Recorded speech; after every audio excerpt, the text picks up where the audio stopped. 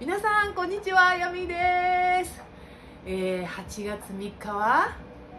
ヤミーの日。ヤミーの日が 近づいてきました、えーバンドメンバーとリハーサルをして、えー元気いっぱいその日を迎えようと思っていますので皆さんあの本当に楽しみにしていてください。みんなでワイワイしていただければ本当に嬉しいなと思います。元気でお会いしましょう私の Facebook や Instagram もぜひチェックしてください。8月3日お待ちしております。ありがとうございます。